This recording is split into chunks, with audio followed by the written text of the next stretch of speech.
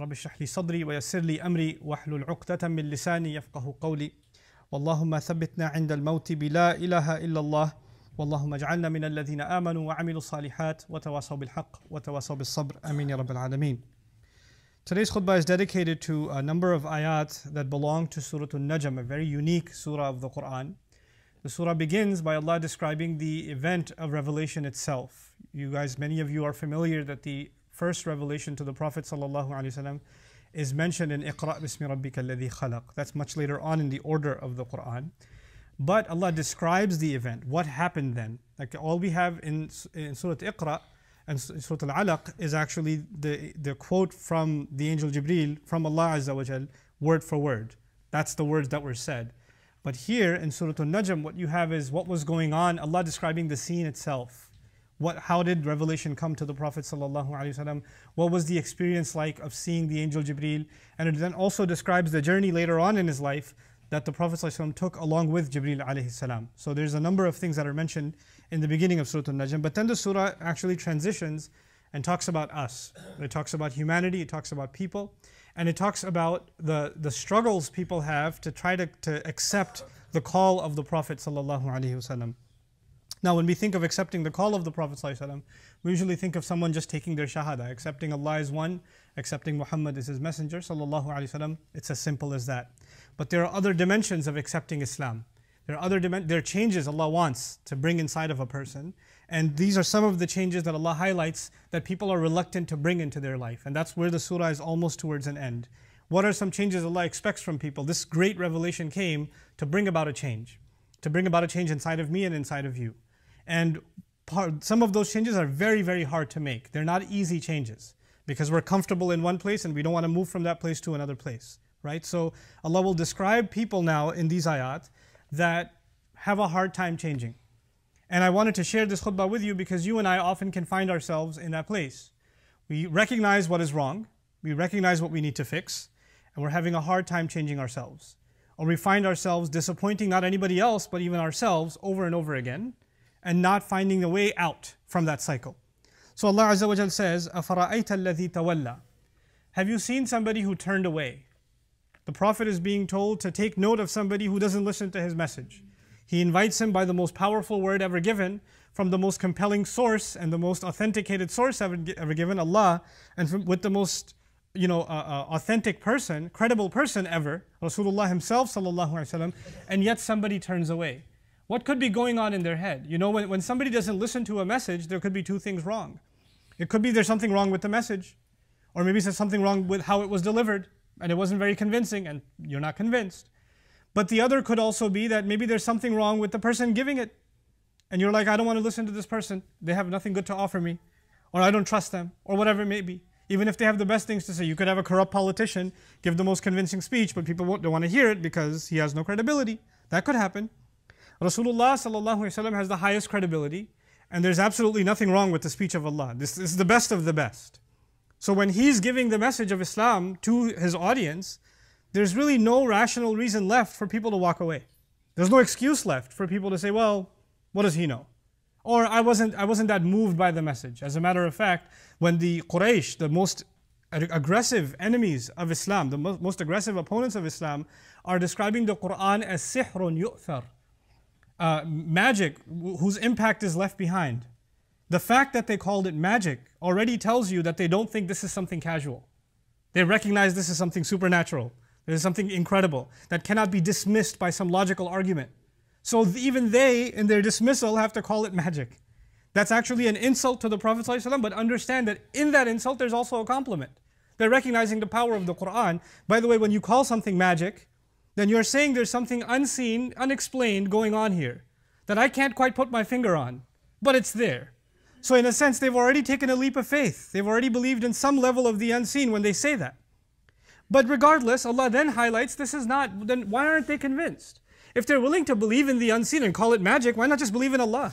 I mean, if you're willing to believe in that and defy common sense and defy logic and believe in, take a leap of faith, why not take the right leap of faith? And so Allah then answers that question by saying, وَأَعْطَى قَلِيلًا وَأَكْدَى this is highlighting one particular dimension of our personality that we have a hard time changing. He says about this person, he gives a little bit, What that means is he's charitable to an extent. وأكدى. Then he slows down and قطع من من عطيته. He, he, he stops giving. This needs some attention. Allah is describing that human beings, even the ones who don't want to listen to anything about Islam, who don't want to hear what the Prophet have to say, they're also charitable people. They also feel like if they, if they were asked to support some worthy cause, they would give to. They're, they're willing to give and support something good, but that goodness, first of all, they can't give too much. Because if they give too much, then there are other things they want to do that they don't want to stop doing. Their, their money is allocated for some other things. Allah put a consciousness inside of us. That consciousness is inside of an atheist, it's inside, it's inside of a Christian, a Jew, a Hindu. All of them have it.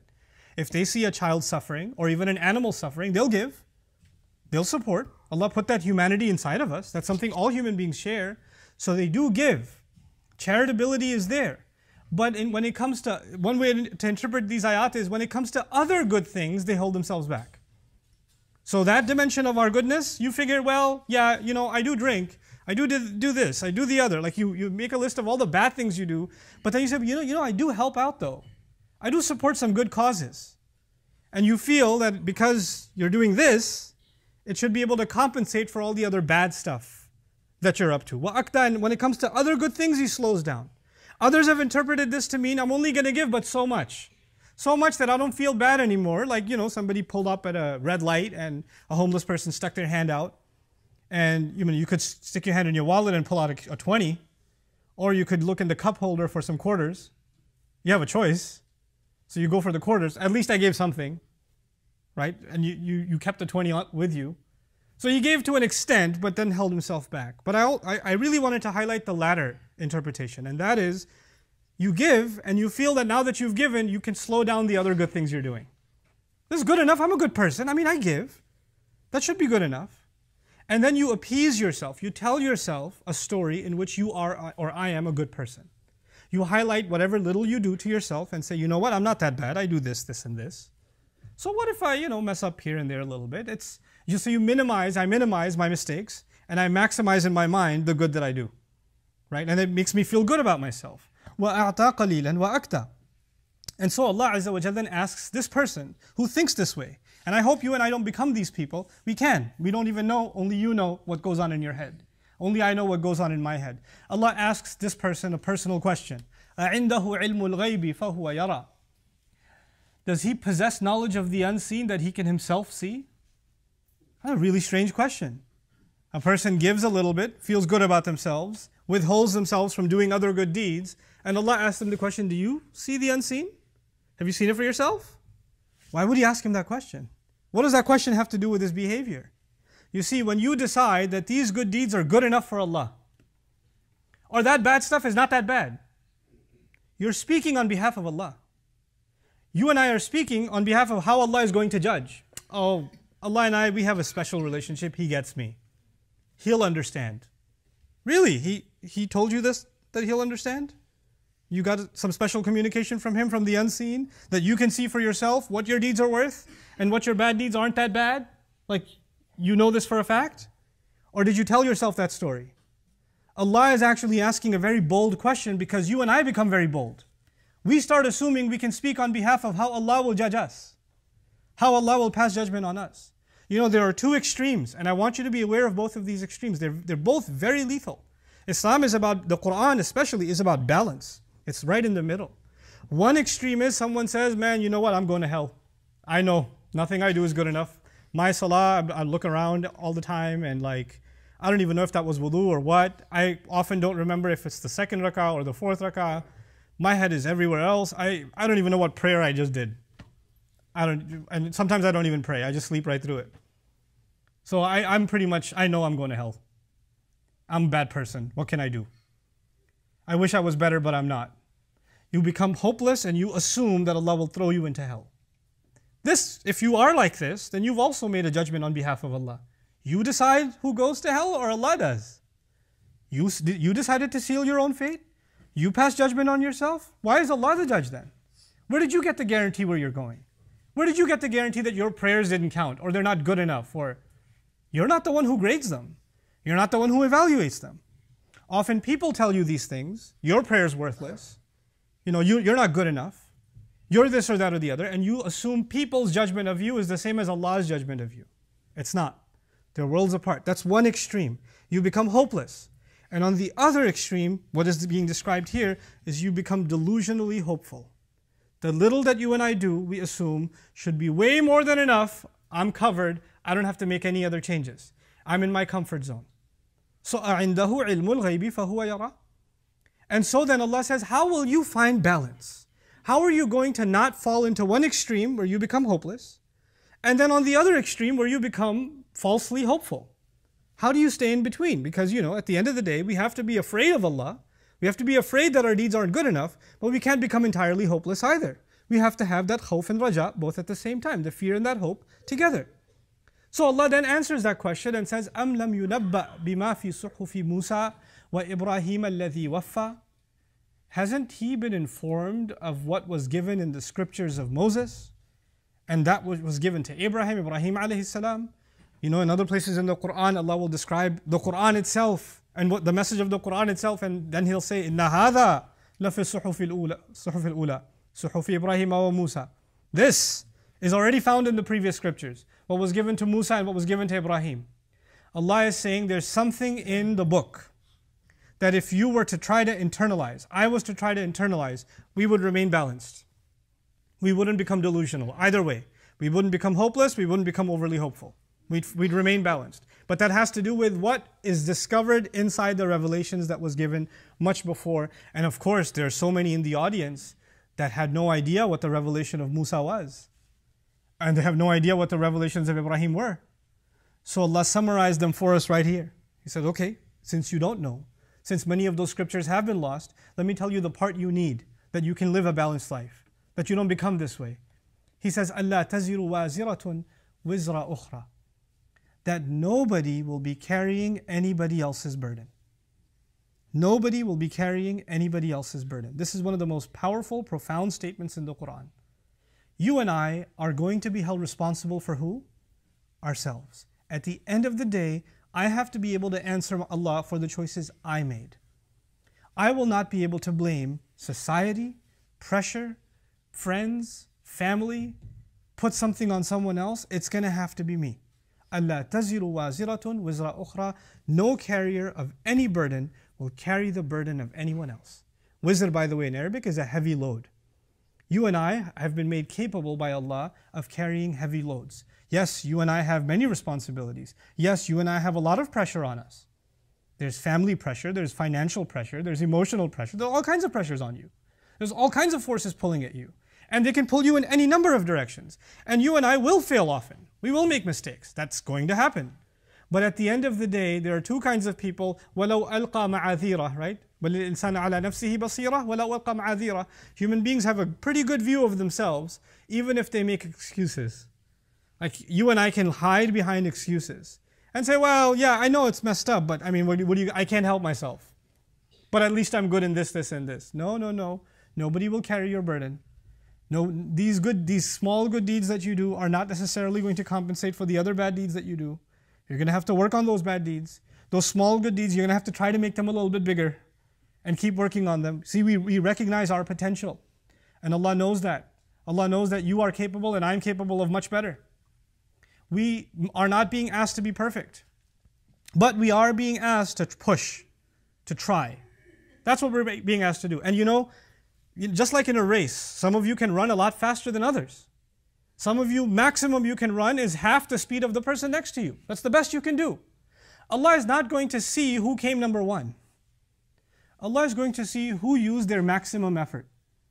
I, I want you to remember this example. It could be the case that somebody wins a race, but they put no effort in it. It was easy for them. It was extremely easy for them. They beat everybody else.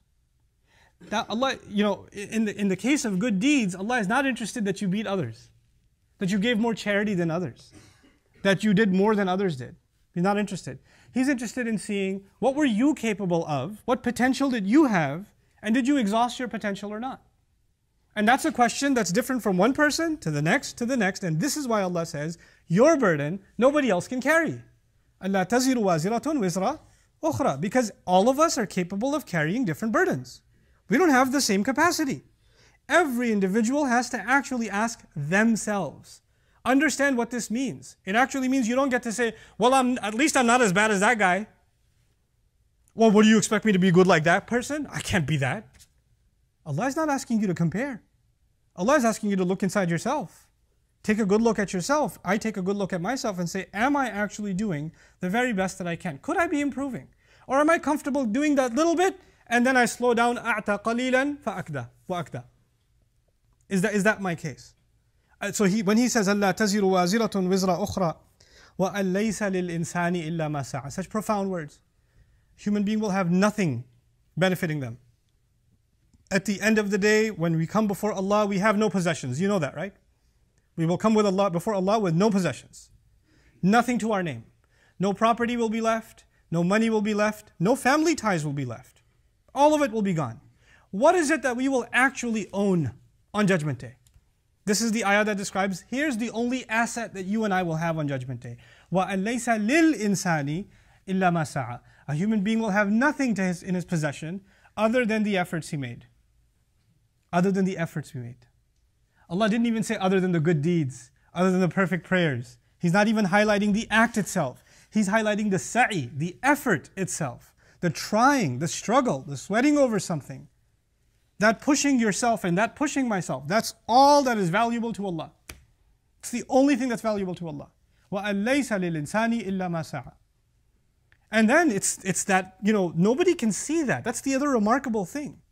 You know, if, if you put in, eh, like, you know, I, I'm in teaching and I used to teach kids some time ago. And even when I teach adults, I feel like I'm teaching kids sometimes. But, you know, when you're teaching children and a child does a sloppy job at homework, really sloppy job, and you know this kid can do a lot better. And you ask him, What did you do here? And the child says, I did my best, okay? I did my best. Well, I as a teacher know you that's not your best. I've seen your best and that's not it. You could do a lot better, right?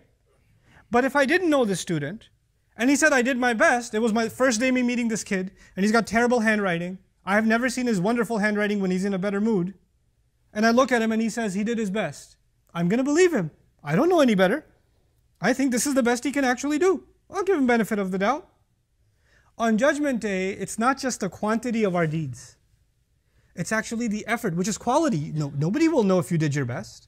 An employee can tell the employer, hey boss, I'm doing my best. How is the employer supposed to know that's his best? There's no way to know. Only you can know if you're doing your best or not, right? But on Judgment Day, that invisible thing, whether or not you did your best, becomes visible. وَأَنَّ سَعْيَهُ سَوْفَ يُرَى And that his effort soon, it itself will become visible. The effort will become visible. You see, right now our actions are visible. Our effort is not visible. Somebody donated a million, somebody donated $100,000. Seems like a big amount, but maybe they make a 100 million, it's not an effort for them. Somebody donated 50 cents, but the only thing they had in their pocket was 75 cents. That's all they had. That's a huge effort for them. But we won't know that. Allah knows that. And on Judgment Day, it is the quality of our deeds that will become visible. Allah is therefore highlighting what is, what is our, our deen asking from us? It's asking a really serious conscious question to ourselves. What level of effort am I willing to make? How am I, how, what kind of uncomfortable position am I willing to put myself in? You know, Allah is not asking a lot of us. But even the minimum that He asks of us sometimes becomes a lot for people. I want to leave you, there's a lot of ayat to cover, but since our time is getting over, I just want to leave you with one ayat. This passage began with a criticism of someone who gives a little bit, and he assumes that that little bit should be good enough, no more effort necessary. That's where we began this conversation. Allah at the end clarifies, by, by the end of this conversation, He clarifies, in fact, what Allah does for you. And He said some profound words. It's such a brief ayah. وَأَنَّهُ هُوَ أَغْنَى وَأَقْنَى Allah is the one who makes you wealthy. Allah is the one who gives you independence. Allah is the one who takes care of your problems. Al-ighna in Arabic is to make you independent. You don't have the, you had a dependency on somebody, you had a financial problem, you had a material problem, and Allah is the one who actually removed that problem from you. It's not your efforts. So when you're giving a little, you're giving a little from what Allah gave you. It's not from your account, it's from the account Allah filled. That job you got wasn't because of your resume, because of my resume, it's because Allah allowed for that job to happen that opportunity to happen.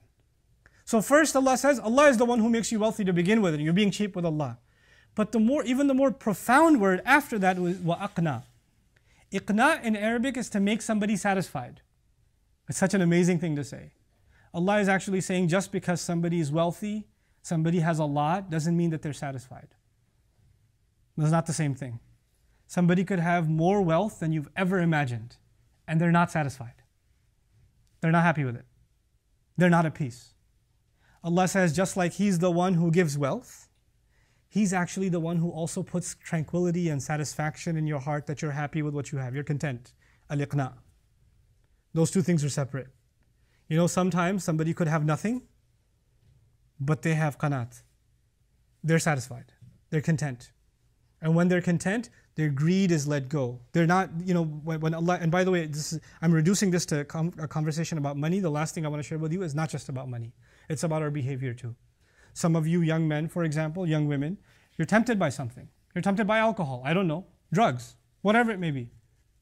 Some party you want to go, something you want to do. And you and I will be pulled, and you're going to think, if I miss out on this opportunity, YOLO, you only live once. How am I going to find contentment if I don't live up, live a little? When am I going to get this chance again? How am I going to, you want me to just keep missing out?